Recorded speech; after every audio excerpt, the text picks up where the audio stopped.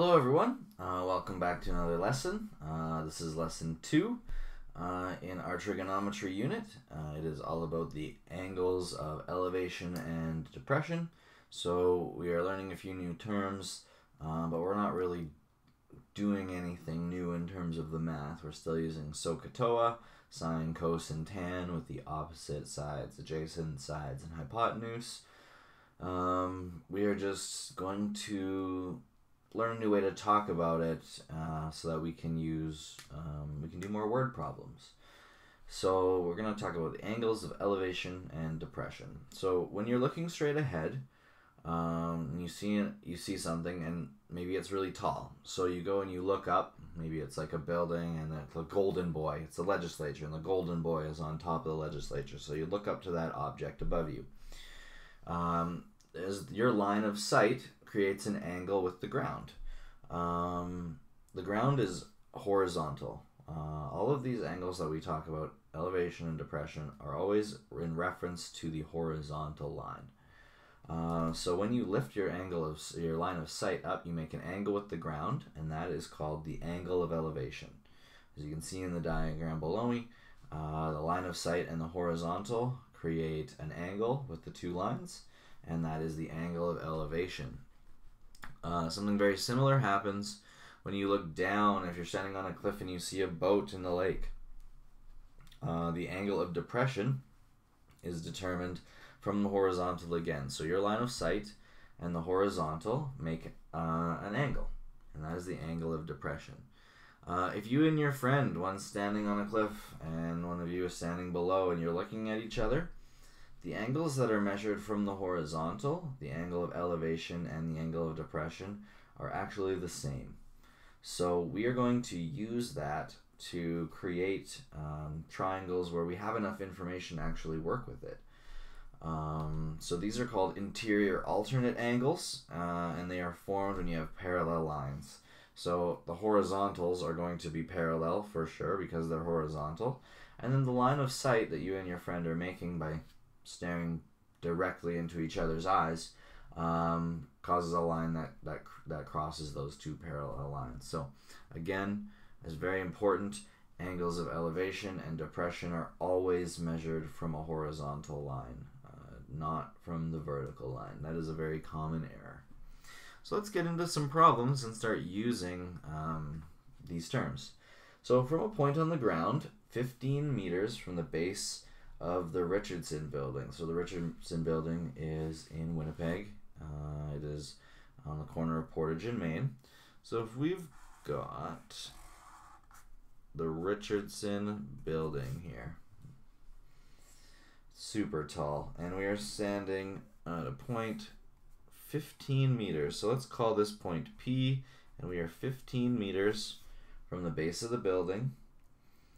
Uh, and when we look up to the top of it with our line of sight, the angle of elevation uh, to the top of the building is 80 degrees. So that is 80 degrees.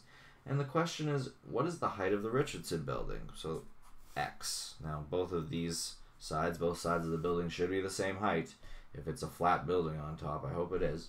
So um, we can find out what x is, or this side. Now let's label our sides according to uh, the angle of interest. So we have our right angle down here. The building makes a right angle with the ground. So this means that that is the hypotenuse. Um, this is the opposite away from the angle. Pardon me, that's the opposite. And this is the adjacent side. So we're interested in the opposite and adjacent sides. So if we think that is SOHCAHTAN, it is TOA. Uh, so let's do that. Tan of 80 is equal to opposite, which is x, over adjacent, which is 15 meters. We can rearrange this to solve for x by moving the 15 up. So we have 15 multiplied by tan of 80 is equal to x. So x is equal to 85 meters. So when we're doing word problems, we are always going to answer those in a sentence. So the Richardson building is 85 meters tall. Exclamation point because it's exciting. Okay. Um, let's move on to example two. Example two is about a lighthouse.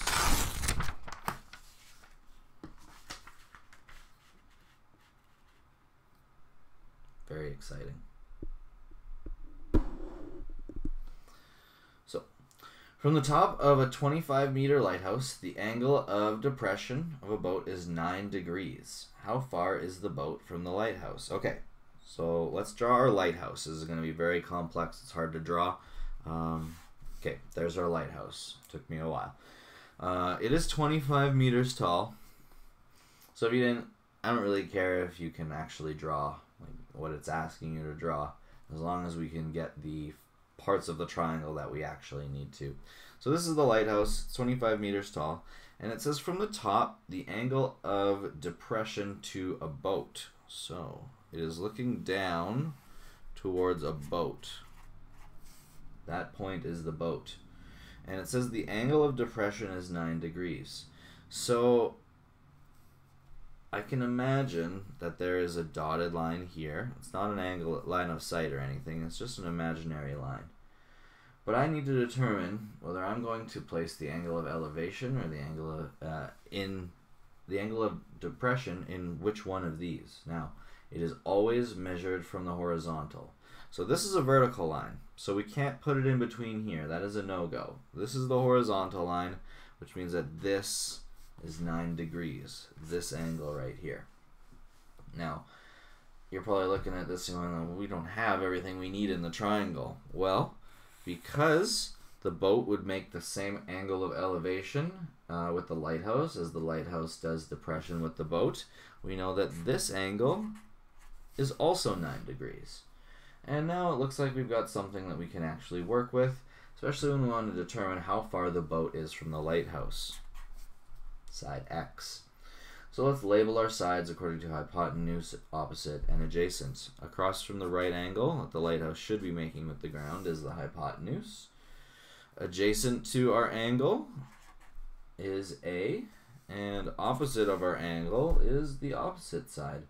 So the two sides that we're interested in, again, seems to be opposite and adjacent, which would be tan.